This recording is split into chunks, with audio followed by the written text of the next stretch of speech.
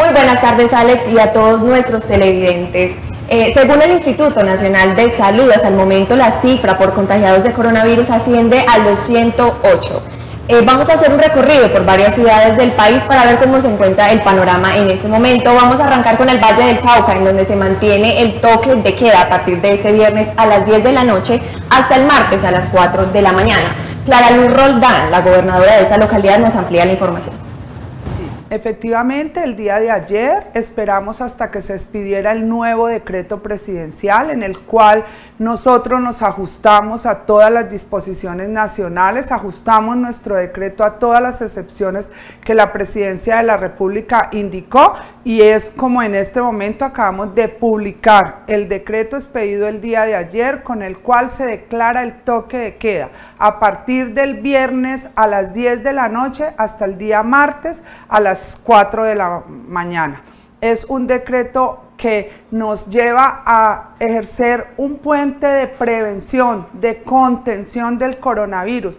Es un decreto producto de que no hemos tomado con responsabilidad las medidas que habíamos venido tomando. Siempre indiqué que si nos tocaba tomar medidas con mayor rigurosidad lo íbamos a hacer y por eso en este momento expedimos el toque de queda para que en este fin de semana las familias se concentren a, a jugar, a pasar un unos ratos en familia y que logremos cada día medidas de contención para que este virus no se nos propague. El llamado es para que se queden en la casa y lo pueden consultar a través de, de las páginas oficiales. Sí, total. Tenemos 25 excepciones. Quien tenga dudas, quien quiera conocer un poco más del decreto, está en todas nuestras páginas oficiales y pueden consultar.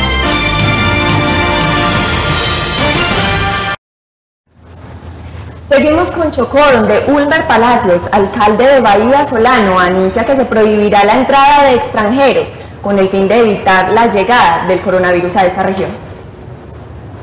Entendiendo la emergencia en la que está el país por la expansión del coronavirus, el alcalde de Bahía Solano decidió restringir por estos días el turismo. No hay posibilidad de carreteras, como no hay carreteras no puede, no puede tener acceso a, que las personas pueden llegar utilizando vehículos, la única forma de llegar es por el aeropuerto y vía marítima. Y nosotros hemos tomado las precauciones del caso para evitar de que esa pandemia y ese virus nos llegue hasta, nuestro territorio. De hecho, eh, somos un municipio de limitados recursos, mas sin embargo, eh, como te digo, hemos tomado todas las vías necesarias para evitar que, que nos contagiemos con el COVID-19 porque este es un virus que ha llegado a Colombia a través de personas que provienen del exterior y el asunto es de eh, evitar de que los extranjeros lleguen a nuestro territorio. Si por casualidad hay alguien que nació en nuestro municipio de Azolano y vive en el exterior, no podemos negar la, entrada, simple y llanamente debe ser sometido a cuarentena. Se prohíbe definitivamente y hasta nueva orden, hasta que el gobierno nacional imponga una, nueva, un nuevo una nueva resolución, un nuevo decreto, donde nos pueda decir eh, sobre el ingreso de extranjeros a nuestro país y por ende el municipio de Ayasolano, eh, cuidándose de un posible contagio, eh, nuestro alcalde ha tomado esta medida preventiva para evitar el ingreso de estos extranjeros, ya que sabemos que es una pandemia que nos ha llegado de otros países.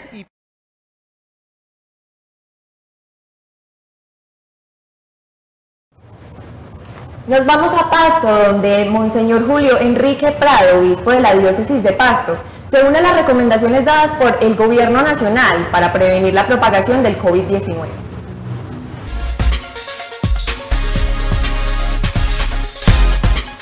Un cordial saludo a toda la querida diócesis de Pasto.